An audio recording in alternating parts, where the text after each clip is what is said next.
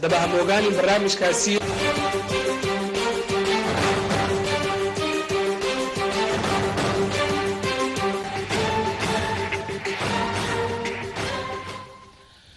Bismi illaahi raxmaan raxiim kulanti wanaagsan daawadayaal meel kasta oo aad dunida ka joogtaan ku soo dhawaada barnaamijka ra'yiga oo aad toddobaad kasta ka daawataan t v-ga universal stuudiyiisa magaalada muqdisho maalinta arbacada saacaddu marka ay tahay saddexda galabnimo ee xilliga bariga afrika barnaamijka toddobaadkan ee ra'yiga waxaanu ku soo qaadan doonaa qodob ku saabsan arinta la xiriirta hantida guud iyo sida dowladdu iyo dowladihii u dambeeyaba ay u maareeyeen. Dowladihii u dambeeyey dowladda hadda jirta waxay bixiyeen dhulal ay iyo hanti kale oo ay ummadda soomaaliyeed lahaayeen kuwaasi oo ay ka mid ahaayeen dhulka ku yaalla dhinaca xeebta ee degmada cabdilcasiis kaasi oo qaybo badan oo ka mida la siiyey safaarado shisheeye.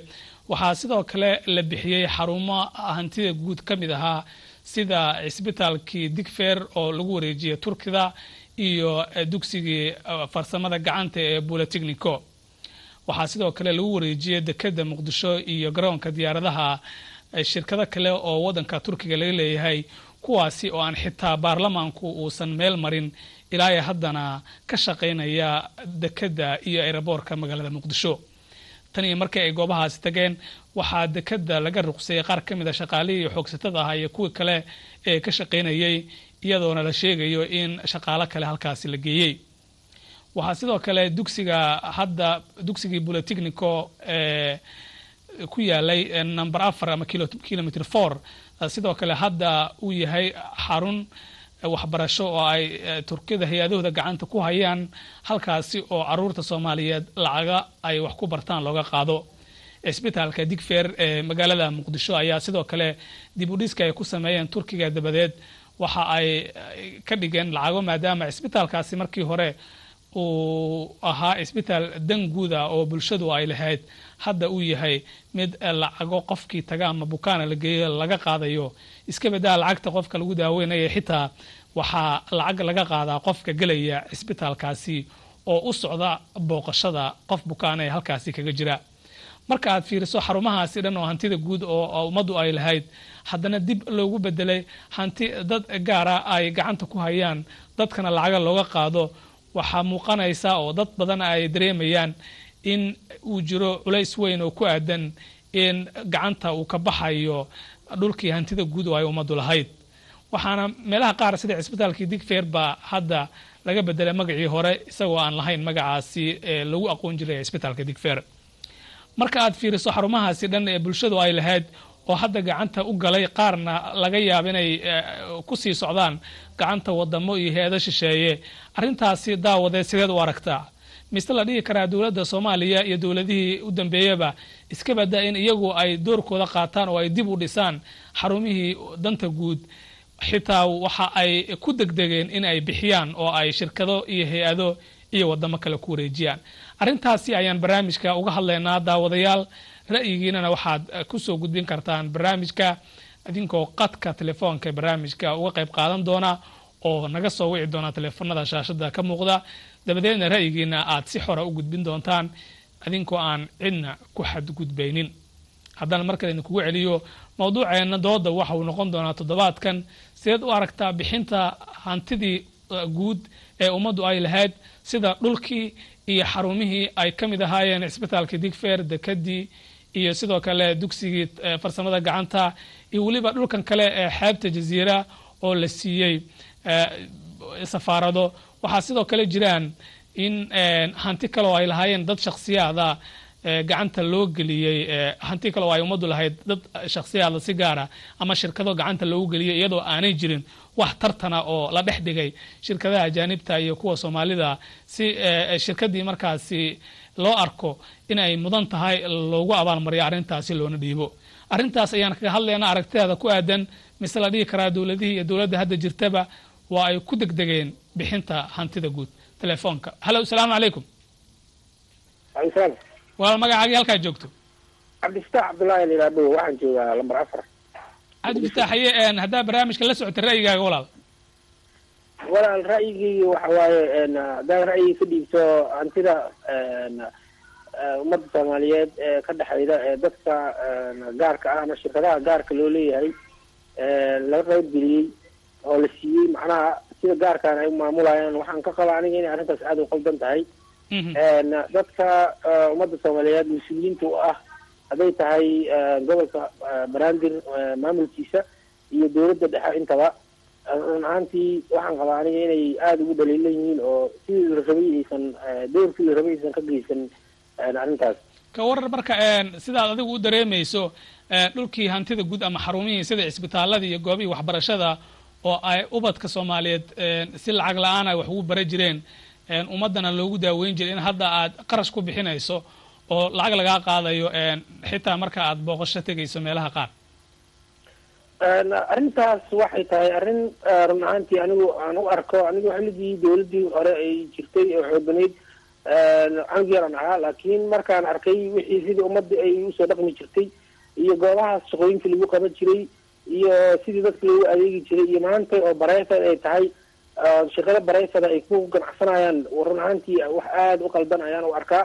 Sababta waxay tahay iskuuladii ummadda soomaaliyeed wasaaraddii caafimaadka ee soomaaliya ay dadka ugu adeegi jirtay sida oo run sida dadka aan awoodin inay iska bixiyaan iskuulka oo kale ay aadi jireen oo ummadda soomaaliya dhan ay lacag la'aanta ku dhigan jirtay khadamaadkaasi meesha waa ka baxeen oo hadda maanta waxay noqotay qofkii lacag haystaa keliya waxa barto. Sidoo kale hadda iskuulladaas oo kale markaad fiiridid lacagta lagu dhigana xataa waxay wax badan badan ka qaalisan yihiin iskuullada iskuullada kale lacagta lagu dhigto. isbitaaladii sidoo kale isbitaalkii bal iska dhaaf inaad lambarkaa goosanayda dhakhtarkaa u goosanayday waxaa ka sii gelitaankiya lacaga bal wax kale iska dhaaf. Waxaa kale jirta haddii aad xilligii haddii aad xilligii joogta dawladda adiga markaad u baahan tahay cisbitaalka digfair sidee aad arrintaasi ay kugu sahlanaa jirta? Anigii hooyaday isbitaalka digfair inta dhaawac hadda kahor ku dhacay si mataqaanaa bilaasha loogu daaweeyey xilligii dawladda ma garatay marka maantana hooyaday haddaan geeyo waxa waaye waa process dheer iyo hawl dheer aan gelaya ma fahamtay iyo haddaanan lacagtiisa maba haweysan karo. Sidoo kale iskuulkii farsamada gacanta ee loogu talagalay in mataqaanaa dadka xirfadaha lagu baro gacanta oo ummadda soomaaliyeed dhalinyarada maanta shaqa la'aanta ah oo derbiyada fafadhida in lagu baro xirfad ay ku shaqaysato. Maantay waxaa loo bedelay dugsi sare ee mataqana dugsiye sare ee dowladda turkiga shirkada oo bareyfad iyagu turki ka soo jeeda. Ay maantay ku ganacsanayaan xataa waxaa dhaantay oo aniga markaa ra'yigeyga ka hadlo qof soomaali ahaan qof akaademiga haddaan u hadlo dadka waxaa shirkada soomaaliyeed ee dadka lacag ay awoodaan ka qaada in ay maaragtay ku ganacsadaan oo iskuul bareyfada ka furtaan oo isbitaal bareyfada ka furtaan. Adaanta intii shirkad ajnabiya inta la siiyo ay mataqaanaa dadka lacag ka samayn lahayd. Way aad baad umahadsan tahay. Waa kaaga mahad celinaya fikirkaaga. Daawadayaasha kale ayaa siinayaa xitaa way jiraan laftirkeeda shirkado kale ama xarumo kale oo la siiyey shirkado gaara oo xataa soomaali ah. Inkastoo dadka qaar ay leeyihiin farqiga shirkadaha ajaanibta iyo kuwa soomaalida ayaa meesha ka muuqanaya laakiin dadku dhinaca kale ay dareemayaan in shirkad kasta oo isticmaasha hantida guud ee ummadda haddana lacago iyo dhaqaale badan ku kordhisa shacabka ama ka qaada in weli culays ay tahay. Taasi loo baahan yahay maadaama ay isticmaalayso hantidii dhulka ee ummadda ay lahayd in ay wax badan ka bedesho qarashaadka shacabka. Qadka xiga. Hallo asalaamu calaykum telefoonkaasi waa u go'ay telefoonka kale ayaan siinayaa hallo asalaamu calaykum hallo asalaamu calaykum walaal magacaaga meeshaa naga soo wacaysa adoo codkaaga sare u qaadayo magacayga nafisa dhiraada waxaan joogaa degmada shibis. Haye. Marka barnaamijkan barnaamij xiisa leh waa maanta. Degmadaada dhul hanti guud oo oo dad gaara ay haystaan ma jiraan oo ku manfacaan oo dadkana mararka qaar aan waxba loogu qaban. Wallaahi sadar muuqda su'aalka dhanaa la yiri haddaba waa aragtaa digfeer oo kale. Haddii halo? Waa ku maqlaa walaal.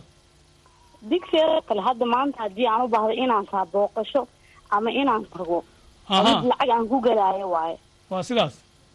Marka dowladda turkiga inay maanta wadankiina dhisto ku faraxsannahay laakiin iyadoo maanta dhul noo dhistay haddana inay shacabkeeni lacaga ee qaatay xitaa doorashada lagu xumaado waa xitaa waxaa ambasan la dhisay oo mehiisa iskaga yaalo waaya marka wa waa lacagtii haddii loo celinaa leeda ah lacag qarashaadka ay ku dhiseen dib inay nooga abuuranayaan waay waaya aad baad umaasta walaa ra'yigaa waa kaaga mahad celinaya. Daawadayaasha kalan siinaya teleefon ku jira ee ra'yigooda doonaya inay hadan ka dhiibtaan.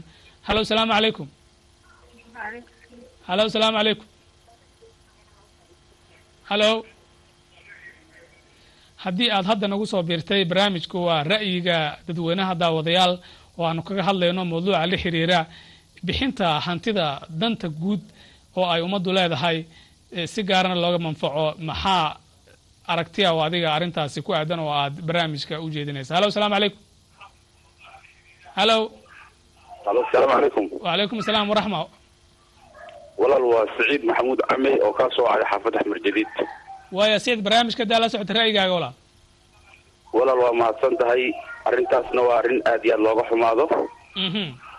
Dabcan waa dareemi kartaa hadda sharikaadka aad sheegay sidoo ajaanibta oo maaragtay dalka turkiga uu ka mid yahay isbitaalkii difer oo hadda la leeyahay lacag baa maaragtay lagu gelayaa marka walaalow arrimahaas waa ay jiraan. Waana arrimo war wadankii maaragtay gacanta laga bixinayo oo hay'ada maaragtay ajaaniba gacanta loo gelinayo. Marka labaa loo kala qaadaya kuwan waa kuwa ajaaniba kuwo kale waxaa jira soomaaliya ayaga naftirkooda hantidii guud gacanta loo geliyay. Waa runta oo ah wakaaladii korontada ku yaalay degmada hodan oo hadda magacii laga bedela taleex oo loo bedela magacyo kaleeto. Iigu celi waa halkee meeshaas iskuul taleex weeye iskuul taleex agaarka maaragtay warshada caanaha iskuul taleex waay haye hadda in magac baa loo bedela hadda in magaca nin sheega ma rabo. Adinku waa tegi kartiin festal haddii aad tihiin dadkii maaragtay oo bulshadii. dad gaara brivada isticmaalaan lacag baa lagu dhiganayaa shan iyo labaatan doolar baa dadki laga qaadaya magacii waa la bedelay iskuulka iskaax u qabso dadkii wax ka bartayaan uu ka mid ahaan jira xilladii barnaamaadkii waa garta waxaa ka mid a wakaaladii korontada enayo oo iyana ay shirkad brivada iyadoo isticmaalayso hadda deganta a dugsi kaleeto waxaa jira xataa sheekh nadar la yidhaahdo oo ku yaalla african village oo Markaad arrimahaas- arrimahaas oo dhan dalka isku soo- oo eh, u dhisay ayuu ahaa. siciid markaa arrimahaas oo dhan fiiriso muxuu yahay aragtidaada adiga ku aadan? Ee sidee u dareemaysa arrintan arrintaas walaal waa aad arrin aad looga xumaaday wey hadda anigu dabcan iskuul taleex cunug baan maageeyey waxaana la ii sheegay inuu ahaan iskuul dawladeed uu yahay iskuul la rabo maaragta dad ay gaar ay leeyihiin oo ganacsatada soomaaliya. Marka walaalow dadka soomaaliyeed waxaan u sheegi lahaa labadaba hala kala ogaado. Kuwana waa shirkadaha ajaaniba kuwana waa maaragta dadka soomaaliya oo maanta ba arkaysaa rabo inay dhaqankii wadankii ay bedelaan maxay tahay marka? kartaa walaal iskuul dhan oo ummadii maaragtay uu furan yahay in maanta lacag shan labaatan dollar iska qaaday uu leeyahay iskuul dawlada maahan dadkii xataa carruurta geestay waay. Waxaa loogu sheekeeyey in dad shiciba ee dad gaar ay leeyihiin. Marka arrintaas walaalow aad baan Aad- macnaha uga xunnahay soomaaliya wadankii maaragtay maxaa ka dhacay. maxaad ku ummadii talinaysaa maaragtay waa la bedelay waxyaabaha la qoonin baa wadankii lagu soo kordhiyey. Korontadii waxyaaba fara badan baa la wareejinayaa marka walaalow eenaay xataa waa la dhistay sidaad sheegaysiin. Marka ummadda soomaaliya sanadahan wax aan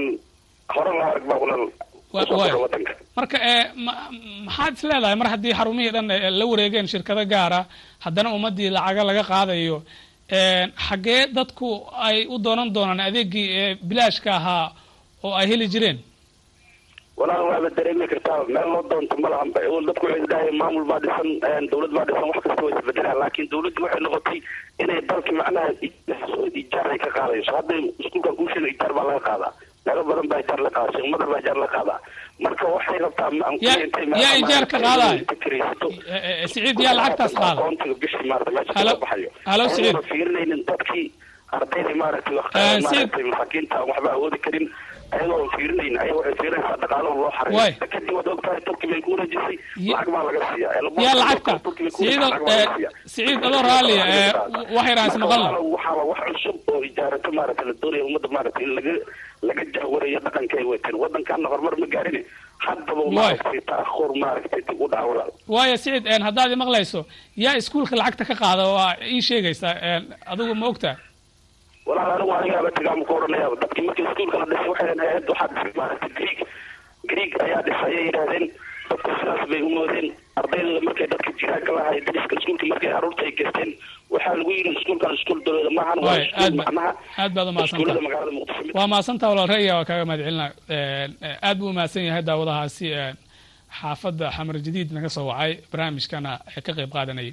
Weli barnaamijkayaan ku guda jirnaa telefoonka xiga. Halo salaamu calaykum. Halo salaamu calaykum. Walaal magacaagii meeshaad joogto? Xaggee joogtaa fartuun walaal? Waxaan joogaa bakaara haddaad barnaamijka la socoto ra'yigaaga ya? Ra'yigaaga walaal haddaad barnaamijka la socoto aa waan la socday barnaamijka waan la socday. Ra'yigayga waxa waaye in in lacagna laga qaadan maaha. Dadka masaakiinaa jirto iskoolka lacagta lagama dadaan bixsan karinaa jiro. Dad waxaa jiro daktarka lacagta iska bixi karin. Marka waxaan dhihi lahaa waxaa dhan waxa ka qaban kara. Inaba dawladda un baa ka qaban karta. Ee dawladda iyadaa dhiibta dhulkaa la leeyahay een, ee, yaa kale wax ka qabanaya marka wax kalo yaa wax kaloo la qaba. Ayaga ayaga ayadaa ka qaadaysa dadkay siisay. Waa mahadsantaha walaal ra'yiga waa kaaga mahad celinaa telefoonada kale aan siinayaa barnaamijka ra'yiga ayaan ku guda jirnaa daawadayaal halo salaamu calaykum. Waayahay een, haddii ee, daawade aad barnaamijka la qabsatay daqiiqadii u dambeeyey waxaan kaga hadlaynaa arrinta la xiriirta bixinta hantida guud ee ummadda. Haddana dib dadkii lacag looga qaadayo maxaa aragtiya oo arrintaasi kaaga aadan adiga mise la dhihi karaa dowladdu iska badaa inay iyadu dib u dhista xarumahaasi xitaa waxay ku degdegtay inay bixiso oo ay shirkado iyo shakhsiyaad ajaaniba iyo wadamo kaleba gacanta ay u geliso. Halo salaamu calaykum. Halo salaamu calaykum. Walaal magacaaga halkaa joogto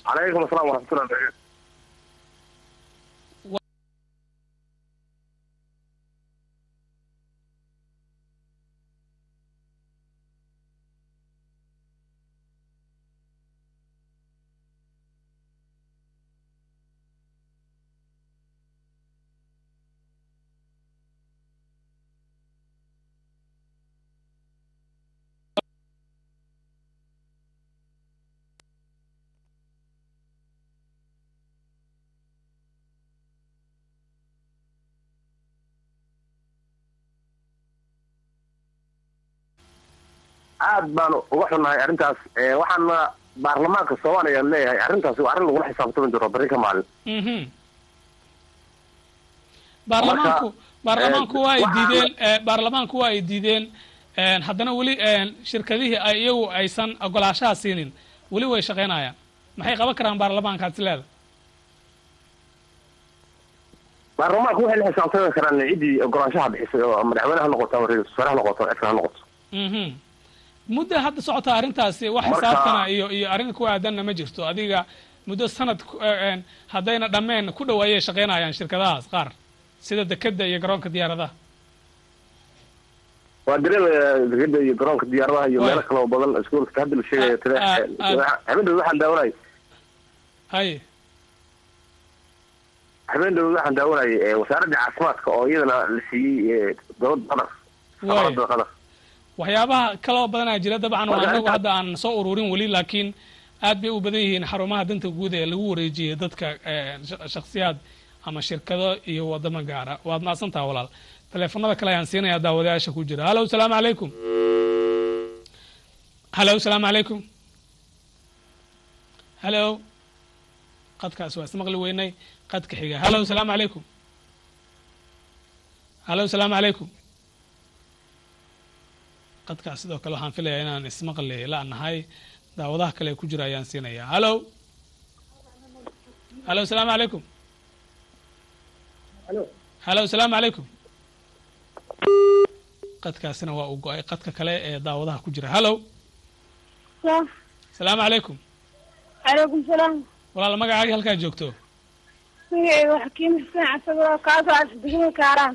xakiim haddaad la socotay barnaamijka ra'yigaaga walaal ra'yiga ka dhigan barnaamijka horta waxaa ayaan dare anaga wadankeena joognay wax kasta lacag noola qaado. Haye tan waan dhalinahay mar wax kasta aan lacag ku iskuulan dhigan lacag ku soo dhigtay.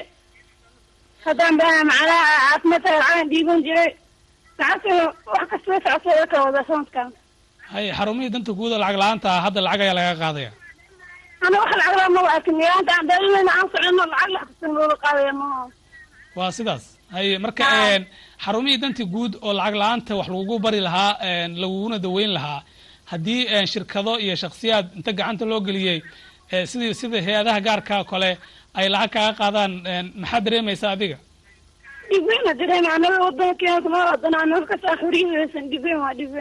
Haye dawladda maxaad dhihi lahayd iyo dawladii u dambeeyay oo arrintan sameeyey? Waxaan dhihi lahaa hantidan nooga soo qaado. Haddee maanta waqaan ilaah adilsatumaana ilaahayana qabnaa garabkaaga laagal waa mahadsan tahay qadka telefoonka adoo jooga kaaraan barnaamijka aad kaga qayb qaadanaysay. Daawadayaasha kalaan siinaya hallo asalaamu calaykum walaal magacaaga halkaa joogto? Magacaaga walaal codkaagana sare u qaad. Walaal waxaan joogaa muqdishoaan joogaa aha. Xaafadda degmada hodanaa joogaa gaar ahaan. Magacaagana walaal? Magacayga cismaan xuseen cali. Haye ra'yigaaga haddaad barnaamijka la socoto cismaan degmadaada hanti guud oo dad gaara la siiye ma jiraan haa walaal way jiraan wax badanaa jiro. Ma intee ka mid a waxaa ka mid warshada baastada. Warshadii baastada? Wax badanaa jiro walaal. Wax badan ee dawladda isku qalqaladaa jiro. Haye ra'yigaaga hadda marka adigu intaad la socoto sideed u aragtaa? Ra'yigay waxa waa walaal in danta guud dadka wax loogu qabto waxa macnaha shaksiyaad aan lagu wareejin. Saas aanay ila tahay walaal. Waad mahadsan taha walaal. Waan kaaga mahad celinahay fikirkaaga daawadayaasha kale aan siinayaa telefoon ku jira. Hallo asalaamu calaykum hallow asalaamu calaykum calaykum asalaam walaal magacaaga halkaa joogto. Waxaan joogaa walaal waa mukhtaar maxamed axmed waxaan joogaa degmada hodan mukhtaar haye haddaad barnaamijka la socotay ra'yigaaga degmadaadase ma jiraan xarumo dan guuda oo si gaara loo isticmaala hadda? Haa waxaa jira ilaa warshada baastada ilaa warshadihii oo dhan hantidii dadweynaha oo dhan shacab ay ibsaday walaal. Yaa haysto hadda loo dhiibay? Shaksiyaad baa loo dhiibay dadka ka mid ah haye marka adigu ra'yigaaga seed u aragtaa arrintaas ma kula ana saxanta waxaan u arkaa waxaan leeyahay dawladda madaxtooyada noqonaysa hanti shacab oo shaksi iibsadada. Haye marka aad baan uga xuma maxaad dhihi lahayd marka dawladda arrintaa hadda ee mas'uulka ka ah? Ha ka noqotaan leeyahay dawladdu arrintaa weli isbitaalka ma tagtay digfeer adiga oo cusbitaalka digfeer hal hal dollar baa lagu qaadaa baa lanagu yidhi ma garat haye marka walaalo waxaan leeyahay cusbitaalka qofka bukaanka ee ku jirana dee dadka bukaanka ku jira wax laga qaadaya hadaad soo buuqato hal dollar baa laga qaadaya maogta kuwa kalena ee dadka bukaankana lacag kala laga qaadaa. Dadka bukaankana lacag kala laga qaadaa maogtahay waa sidaas. Marka wax laga xumaado weeyaan dalkaagi dhexdiisii wax Waay. lagaga qaadayo. Waayo maxaa hadda ee, la gudboon ummadda inay samayso? Mar haddii arrintan ay dhacday. Waxaan leeyahay waa in laga waantoobo cusbitaalka digfeer ee waayo waad mahadsantaha walaal ra'yiga waa kaaga mahad celinaa teleefanada kale ayaan siinayaa iyo daawadayaasha ku jira. Hallo asalaamu calaykum waalaikum salaam. Walaal magacaagii halkaa joogto? Raisi maxamed cali xaggee joogtaa fais codkaagana kor u qaad. Muqdisho haye adoo codkaaga sare u qaadaya ra'yigaaga barnaamijka. Ani waxaan baliyaabanaba marka ugu horeyso. Mm wadanka soomaali maale mase turkiya iskale haye soomaaliya iskale anaga soomaaliyan ma nihin. Turkiya wadankiisa lacag waxuu ka guraa ka gurta. Anaga wadankeena hanoo daaya. Maxaa dawladda siyaysa maalin kasta baarlamaanka mashiinka la rooraayo mukaadili danaas oo dadka shacabka uu leeyahay mukaadili haye. Marka uu ka hadlaayo mooshin iyo wax alan ula ordaayo wixii anaga danteena ah oo dadka masaakiinta baarlamaankii waa la dhegaysan waaye. Waa ay ka hadleen. Ee, welina meelihii iyo dadkii ay ka hadlaan. waxaa laga rabaa inuu ku adkaysto go'aankaas uu go'aanka gaaro uu ku adkaystaa laga rabaa maxaa dhacay?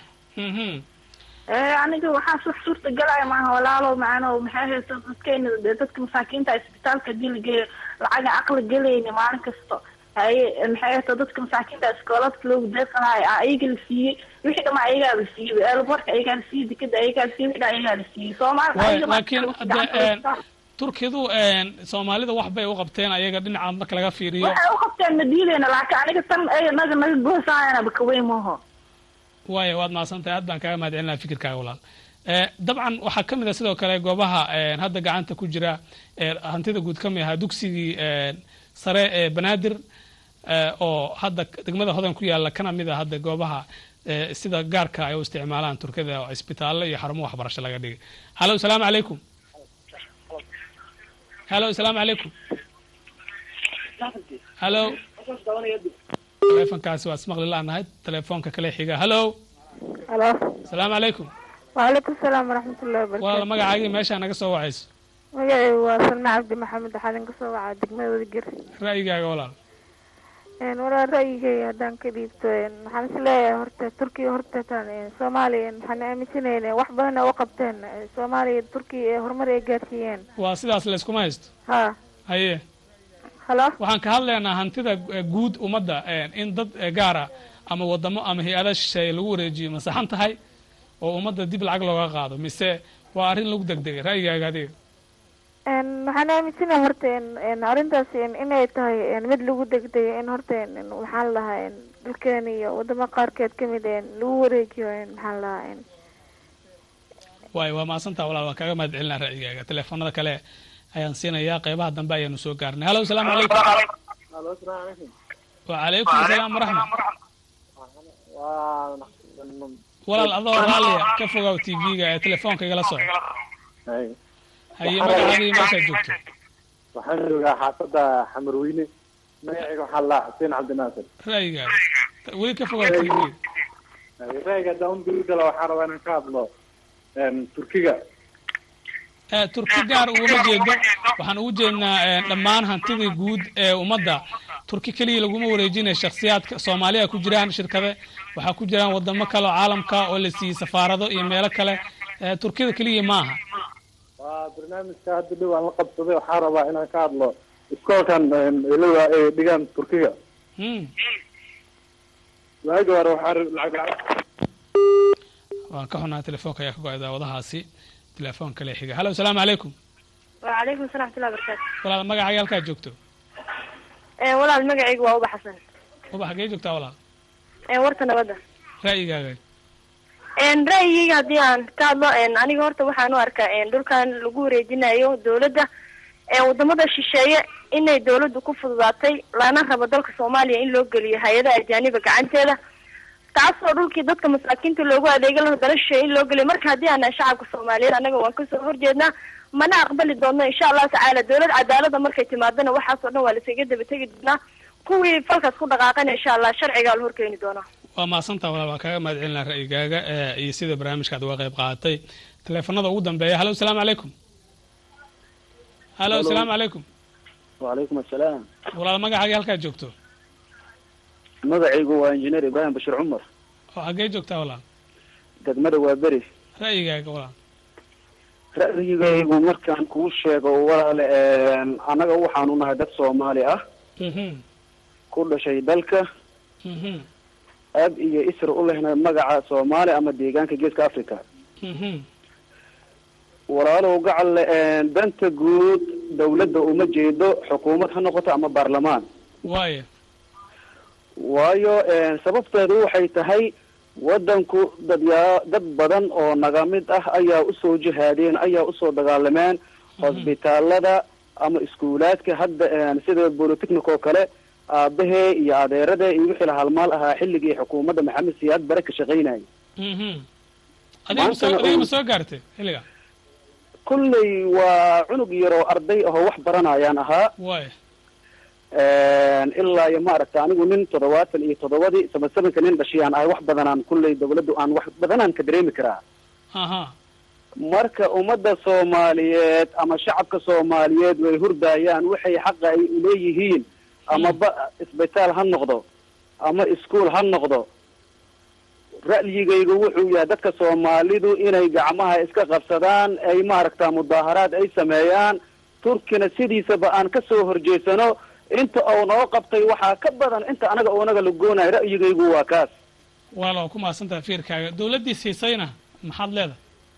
Dawladda iyo baarlamaanka xukuumad ha noqoto ama baarlamaan ha noqdo waxaasi waa wax masuq maasuq ah wax loo dulqaadan kara ma ahan waxaan yeelaynana ma ahan. Waa mahadsantaha walaal. Ra'yigaa waa kaaga mahad celinaa qofka ugu dambeeyaan siinaa. Hallo asalaamu calaykum hallo asalaamu calaykum hallo asalaamu calaykum wacalaykum asalaam walaal magacaaga halkaa naga soo wahayso walaal magaceyga waxaa la yidhahdaa cismaan bashiir cabdulle cismaan madow baa la yidhahdaa xagee joogtaa cismaan walaal waxaa jira degmada wadajir ra'yigaaga walaal ra'yigayga waxa waaye walaal wadajir hanti guud oo la siiyey shirkada iyo wadamo kale miyaa jira xaggiin walaala shirkado oo weli wada la siiyey ma arkin laakiin turkiga waa waa wadanka wuxuu u qabtay iyo danihiisa danihiisa ayaa ka badan ma garata? Haye. Wadanka hadduu la yidhaahdo eelaboorkii ee degadii iyo waxa la siiyey ee dhammaan hadduu la yidhaahdo weli maana arkin soomaalida wax la yaab laha jiro waxaa la yidhi isbitaal meeshaan deva la yidhaha turkiga. Markii la imaanayo hal dollaraa dhiibaysa qof xanuunsan adoo raba inaad soo saacidid oo soo salaantid hal dollaraa lagaa rabaa la yidhi ma garan. Isbitaalka digfer deva deva deefahama sidaasaa dadka lacagta looga qaadaa? Saasaa lacag loogu qaadaa. Aha. Walaala turkiga haddii daacad qabaan wadamooy oo intaasoo wada oo burbursana dhisi lahayn degadii hore duqda ayadaa la siiyey waxay ka isticmaalaan lama yaqaano eelaboorka ayakaa la siiyey. Afaraata saa wixii soo geli jiray. Waay. intaasoo qof oo iyo ummada ka shaqay jirtay. Waxay dhaheen hala baabi'iyo. Waxaa la rabaa saddex boqol iyo dhowr qofaa la rabaa. Saddexdii boqol iyo dhowrka qof boqolkiiba intaas ayakaa qaato. In yarna dadkaa la siiyaa wadanka dhibaatada ka jirto dowladda dowladda maxaa ujeedinaysaa waddanka mas'uulka ka ah arrinta iyadoo qaybta ka ah? Walaal waxaan ujeedinayaa dawladda xasan sheekh oo madaxda ka yahay maadaama madaxweynihii dalka yahay inkastoo weli ummadda dadweynaha heer waxaa halis u ah inay banaan baxaan ay ka jiitaan haa inay banaan baxaan. Wadanka xasan sheekh wuxuu ilaahay abuurtay dadkii oo u qabtay ma lahan ma garan waa mahadsan tahay walaal aad baad u mahadsan tahay daawadahaasa ugu dambeeyey barnaamijka ra'yiga ee toddobaadkan inta ayaan ku soo gabagabeynayaa daawadayaashii barnaamij ka qayb qaataan u mahadcelinaa kuwa telefoonka ku jira hadda ee waqtigu ka idlaadayna waan u mahadcelinaa waqtiyo kale ayay heli doonaan iyo kuwii telefoonka uu soo geli waayey. Guud ahaan waa naga intaa tan intaan barnaamijka mid lamida kulmi doona waxaan idinkaga tegayaa sidaas iyo nabadgelyo